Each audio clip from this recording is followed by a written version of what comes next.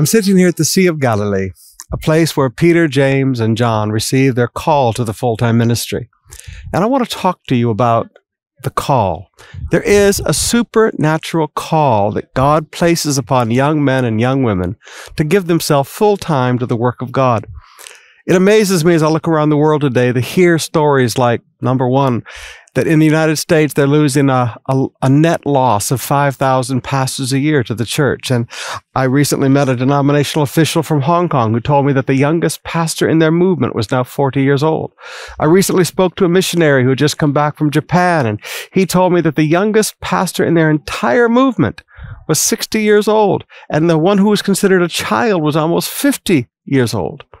Now, brothers and sisters, this does not bode well for the future of the Church of Jesus Christ because too many people that are stepping into the ministry are, are people who are presenters and they are speakers, but there is no supernatural call of God upon their lives. I want to challenge you with what the call is really all about from this auspicious place, a place where Jesus called Peter, Come follow me, I'll make you fishers of men.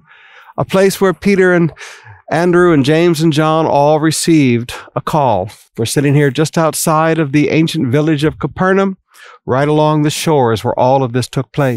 The story begins with Jesus wanting to do some teaching, and the work of God was hindered because the crowd was so great that his voice could not carry and people could not hear, and he wanted to be able to teach well. So he looked at Peter and said, Peter, can I can I borrow your boat? And that's one of the first lessons you learn about the call of God. It it comes to people who are willing to serve.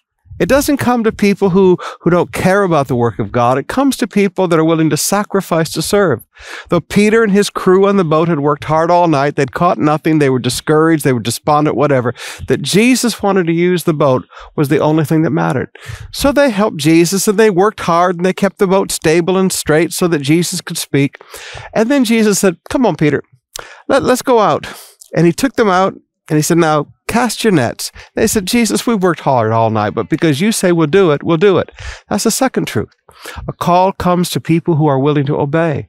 When Peter did, he caught such a large catch of fish, he had to call partners to come and help. And you see a third lesson that people who are called to the ministry are people who have generous hearts. They're not competitive, selfish people. They're people who have generous hearts and are willing to share. And then when they came back in with this great boat, and Peter had the greatest catch of fish in his life, and prosperity was flowing, Jesus said, Now, I want you to walk away from all that. Come follow me, and I'll make you a fisher of men. Thank you for joining us today. Catch daily devotions every Monday to Sunday at 9.30 a.m., 5.30 p.m., and 9.30 p.m. on DZBR, 531 a.m. or visit www.bible.radio. On April 15, Good Friday, we invite you to the annual School of the Cross in all Cathedral of Praise campuses. Learn the real story, the biblical truths and historical facts surrounding the sacrifice and triumph of Jesus Christ on the cross. Plan the trip of a lifetime. See the Bible come to life and join COP Israel Tour 2023. For inquiries, message us now at 0998-583-9781 or at facebook.com slash cop.israeltour. You may also send an email to israeltour at cathedralofpraise.com.ph.